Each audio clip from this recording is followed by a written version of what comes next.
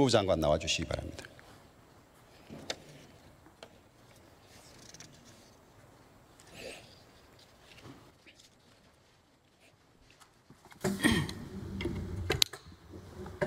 예, 법무부 장관에게는 어, 물어볼 것이 많았습니다. 검찰청법 제34조를 위반한 검찰 인사, 나의 명을 거역했다는 시대착오적인 발언, 수사팀에 대한 보복 인사, 문 대통령 동창과 부하였던 사람의 검찰 요직 임명, 특수단 설치 승인 요구, 공소장 비공개, 수사 기소 분리 추진 등 질문할 것이 많습니다만 오늘 코로나와 관련해서만 물어보겠습니다.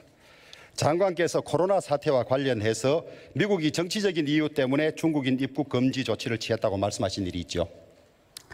아마 방송에서 어 이제 그 지금처럼 이제 특정 교와 관련해서 이렇게 지역 확산이 되기 전에 이제 국제 사회에서 어 한국의 그동안의 조치가 아주 좋았다는 평가. 그러니까 지금의 이런 지역 감염이 확산되기 전에 아, 그 여러 가지 조처에 대해서 아, 뭐 특별 입국 절차를 통해서 한편 어, 이 입국 과정에 있어서 어, 전염병 매개체 매개원의 이동 어, 제지라든가 이런 조치들에 대해서 상당히 그 과학적이고 객관적이고 실효적이었다라는 말씀을 드리는 그 맥락의 도중에 뭐 그런 표현이 있었다고 생각합니다. 의사협회나 방역 전문가들 모두 중국발 외국인의 입국 금지가 필요하다고 하고 있고 세계의 많은 국가들이 이를 시행도 하고 있는데 이를 무시하고 방치하는 것이 오히려 더 정치적 결정 아닙니까? 어, 제 말씀의 취지는 우리가 2월 4일부터 2월 4일을 기해서 이제 후베이성의 그 어, 사증에 대해서 그 조치를 취했고 어, 그리고 그 중국의 후베이성 어, 발급 여건에 대해서 입국 제한 조치를 취하고 이런 단계적 그 조치를 취한 바가 있죠. 그런 단계적 조치들이 상당히 과학적이고 또 객관적이었다 하는 그런 대외적인 평가를 받고 있다 이런 말씀을 드린 거죠.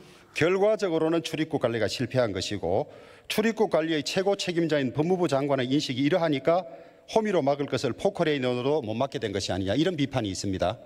지금은 이제 그 지역 확산이 어, 이 거국적으로 모두가 협력해서 막아야 되는 어, 그런 다른 단계로 전환이 된 것이고요. 어, 그전 단계에서는 어, WHO 차원에서도 국경 간의 이동에 대해서 그 함부로 조치를 취하지 않도록 하는 그런 권고가 있었다는 것을 한번 상기해 주셨으면 좋겠습니다. 미국의 결정이 정치적 이유 때문이었다는 발언이 적절하다고 생각하십니까?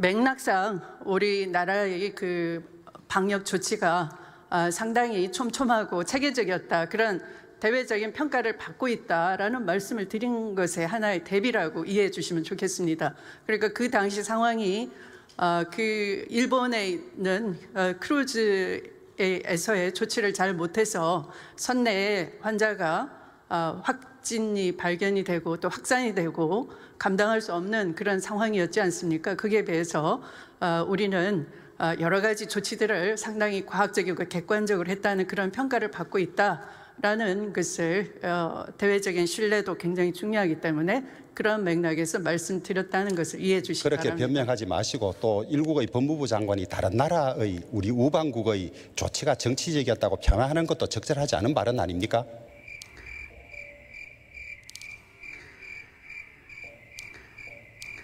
세계적으로 대한민국의 방역에 대해서는 신뢰를 받고 있다라는 것을 강조드린 것입니다. 들어가십시오. 신뢰 결과가 이렇습니까?